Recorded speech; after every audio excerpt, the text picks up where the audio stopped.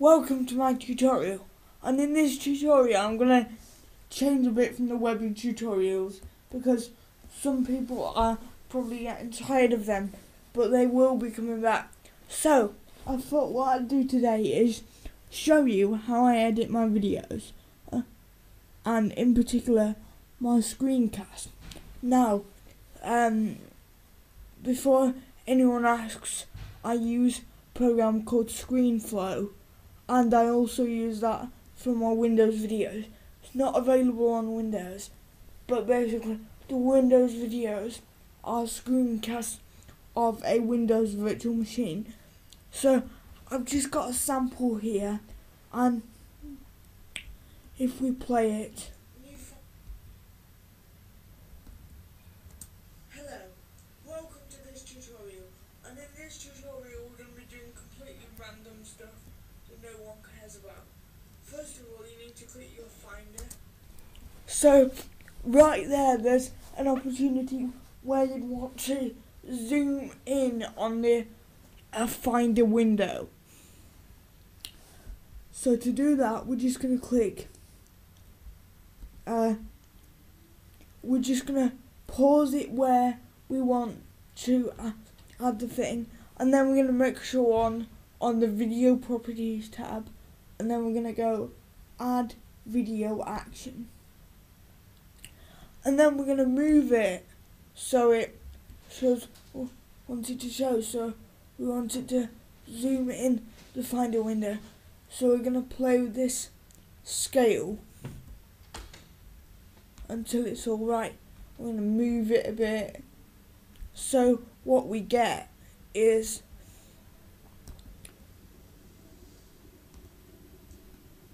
Going to- Hello, welcome to this tutorial and in this tutorial we're going to be doing completely random stuff that no one cares about.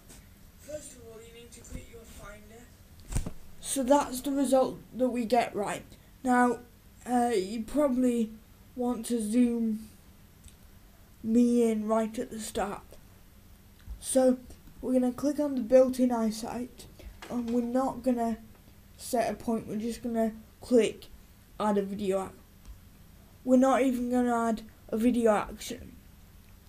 We're going to change the scale and I normally have mine at 100 and 48.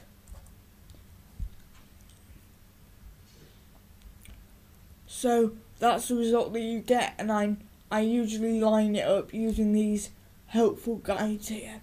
And then what you can do is at the same time change the um,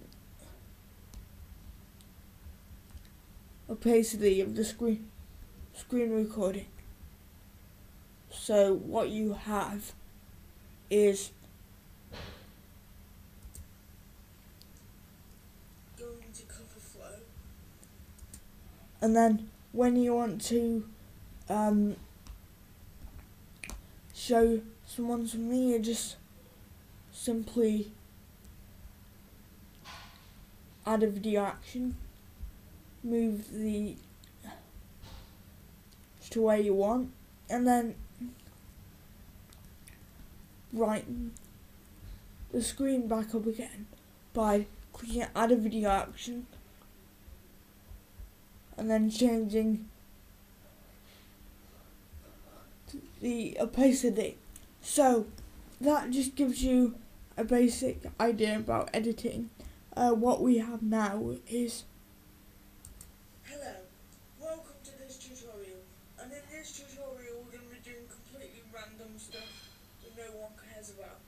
First of all you need to click your finder. so it dims in and out when Going to cover flow. and it zooms in. So that's an idea, some of the basics on editing. It depends on your screen recording. Now I'm going to get into the exportation. What I normally do is go up to the file and export. I go, go to the web high preset, not the best, but the web high, and I click customize. I don't change any of the video options, but down here in the sound, I go to settings and change it from channel stereo to mono because that results in a smaller file size. And realistically when you're on the internet you want things to be uh, doing the mono it makes for faster access times and things like that. And then I just click OK um, make a name for the screen recording so I'll call it demo.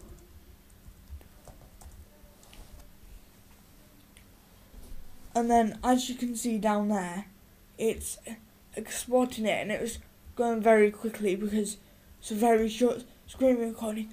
But so I hope that gives you an idea of how I edit my videos. I, I hope you've enjoyed the tutorial and I, I hope you liked it. Thanks Thank you for watching. Mm.